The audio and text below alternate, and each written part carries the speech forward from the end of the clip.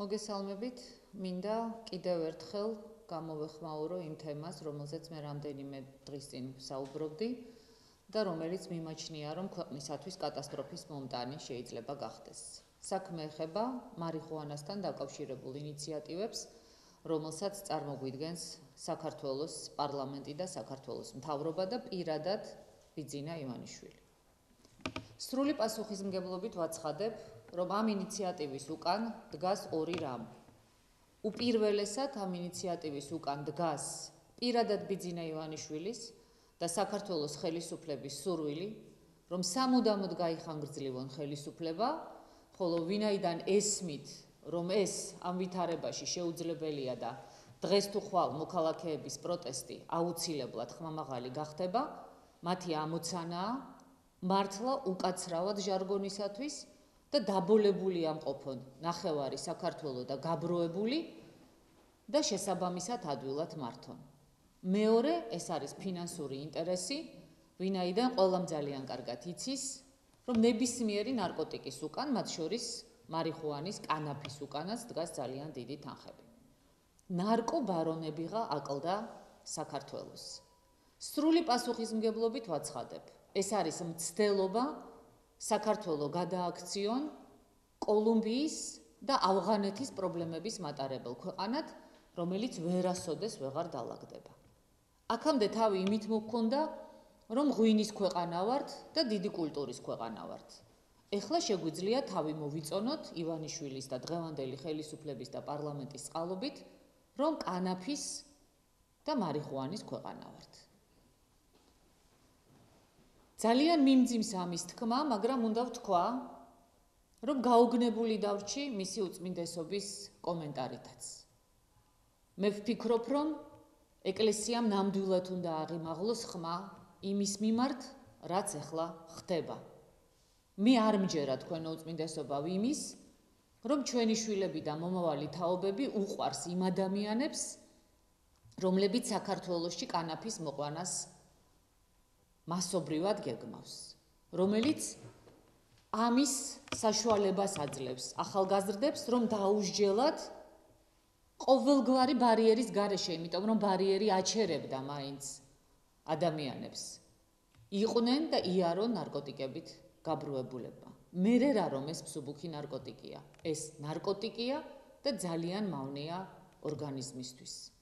მე მესმის პატრიარქის შემწყნარებლობა ყოველას მიმართ მაგრამ კიდევ ვიმეორებ, არ მჯერა, რომ ამ ხელისუფლებას და იმ ადამიანებს, რომელიც ამ ინიციატივას წარმოგვიდგენენ და ხელს აწერენ, უყვართ სხვისი შვილები, თავისი რა თქმა უნდა უყვართ და უყვართ ქვეყანა. ისინი მხოლოდ საკუთარ ძალაუფლებაზე ფიქრობენ.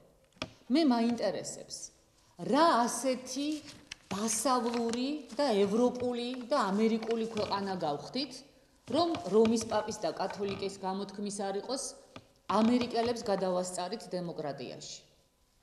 ამერიკის შეერთებული შტატები თავისი კანონმდებლობით პირდაპირ მიუთითებს, რომ მაგალითად კანადის იმ მოქალაქეებს, რომლებიც ჩართული არიან მარიხუანის ბიზნესში ან დებენ ინვესტიციებს ამ მიმართულებით, სამუდამოდ ეკრძალებათ ამერიკის შეერთებულ შტატებში შესვლა. მე მესმის რომ ივანიშვილს ეს არ აწუხებს, იმიტომ რომ საქართველოსდან ვერ გადის და გასვლას არ აპირებს. მაგრამ ეს ალბათ რაღაცაზე ლაპარაკობს. როცა ამერიკა უკრძალავს ამ დარგის სფეროში ინვესტიციების ჩამდებს ამერიკის შეერთებულ შტატებში შესვლას და საზღვრის გადაკვეთას, ყველაფერში უბაძავთ ამერიკელებს და ამაში მაინც რაღაცა დოზით მიუბაძოთ. მე მიკვირს რატომ არის საზოგადოება არ არის გაჩუმებული, მაგრამ უფრო ახმაურებული რატომ არ არის ამასთან დაკავშირებით. ჩვენ ფინანსთა მინისტრი გვეუბნება, რომ თურმე ბიუჯეტს გაზრდის. ბატონო ფინანსთა მინისტრო, თქვენ გვიღირთ თქვენი ოჯახის შემოსავლის, ან თუნდაც ბიუჯეტის გაზრდა, თუ ღმერთმა დაიფაროს და თქვენი შვილი ნარკოტიკებით გაბრუებული ივლის? ამას ნამდვილად არ გისურვებთ. ნუ უსურვებთ ამას, ნურც ხვას. ჩვენ არ გვჭირდება ბიუჯეტი, რომელიც გაზრდილი იქნება ახალგაზრდების გაბრუების, ნარკოტიკების, კანაფის მოყვანის ხარჯზე. მე ვთქვი და ისე ვიმეორებ. ააშენეთ ქარხნები, ააშენეთ ფაბრიკები, შექმენით საინვესტიციო გარემო, დააფინანსეთ სოფლის მეურნეობა, ოღონდ არაკანაფი. ვაზი და ყველაფერი, ყველაფერი მოდის საქართველოში. რა კულტურაც კი შეიძლება არსებობდეს. მაგრამ თქვენ ყველამ ადვილი გზა აირჩიეთ. მოუწოდებ საზოგადოებას. ყოველგვარი პოლიტიკური კონიუნქტურის გარეშე. როცა შვილებზეა ლაპარაკი, შვილიშვილებზეა ლაპარაკი, აქ პოლიტიკურ კუთვნილებას არ აქვს მნიშვნელობა. ჩემთვის არ აქვს მნიშვნელობა ვისი და რომელი პოლიტიკური პარტიის წარმომადგენლის შვილი ან შვილიშვილი იქნება პრობლემურ და რთულ მდგომარეობაში. ყველანი საქართველოს შვილები და შვილიშვილები არიან. დედებო და მამებო. ბებიებო და ბაბუებო. მოგიწოდებთ ამოიღეთ ხმა ქვეყნის დაქცევის წინააღმდეგ. მე მჯერა რომ არც ერთ თქვენგანს არც ერთი თეთრით მომატებული პენსია არ ჭირდება თუ ეს შვილების და შვილიშვილების ჯამრთელობის და გონებრივი შესაძლებლობების ხარჯზე იქნება. ამიტომ კიდევ ერთხელ დედებს, მამებს, ბებიებს და ბაბუებს მოუწოდებ. ამოიღეთ ხმა, ხმა აღიმაღლეთ ამ უმსგავსო თავხედი და უპასუხისმგებლო და დღეს უკვე შეიძლება ამის თქმა მოღალატე ხელისუფლების წინააღმდეგ.